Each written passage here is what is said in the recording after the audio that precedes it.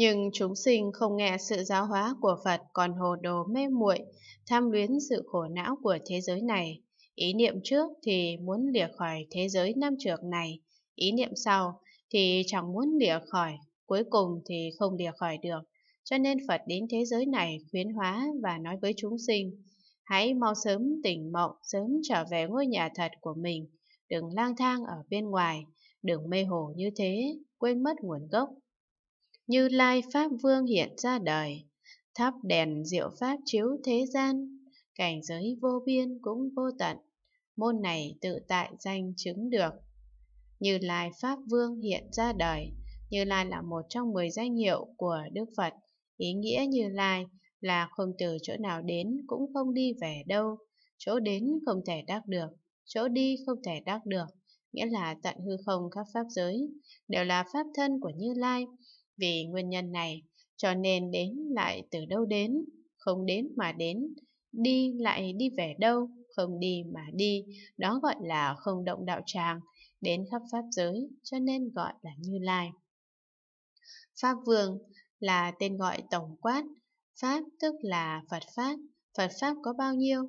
Nếu nói rộng thì có vô lượng vô biên, nhiều như số cát sông Hằng, vì các sông Hằng mịn như bột mì, đó là hình dung số lượng không cách chi đếm được. Nếu nói tổng quát thì có 4 vạn 8 ngàn pháp môn, 8 vạn 4 ngàn pháp môn quy nạp vào thì có 5 thứ pháp. 5 thứ pháp là gì?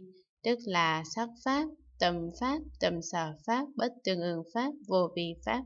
Vạn pháp không ra ngoài phạm vi năm pháp này. Những pháp này ai cũng có thể diễn nói. Trời người có thể thuyết pháp, À A-la-hán có thể thuyết pháp. Bích Chi Phật, Bồ Tát, chư Phật càng có thể thuyết pháp, nhưng chỉ có Phật mới có thể xưng là Pháp Vương, tức là vua nói Pháp. Ngoài ra chỉ xưng là người thuyết Pháp, không thể xưng là Pháp Vương. Vua thuyết Pháp Tại sao xuất hiện ra đời? Vì Phật thấy thế giới quá ô nhiễm, tâm của chúng sinh quá đen tối, Phật vì muốn phá vô minh của chúng sinh, khiến cho thế giới sáng sủa, cho nên như Lai Pháp Vương mới xuất hiện ra đời. Đèn diệu Pháp chiếu sáng thế gian, Như Lai dùng đèn diệu Pháp để chiếu soi khắp thế gian. Phật Pháp giống như đèn sáng chiếu đến chỗ đèn tối, khôi phục ánh sáng, do đó có câu Phật quang phổ chiếu, lợi ích quần sinh. Trước khi Phật hiện ra đời, thế gian này là đen tối. Sau khi Phật hiện ra đời, dùng đèn diệu pháp chiếu sáng thế gian, ánh sáng đèn diệu pháp này có công năng diệu dụng không thể tả được, khiến cho chúng sinh bỏ mê về với giác, cải tà về tránh, trở về nguồn cội, được ừ, chăn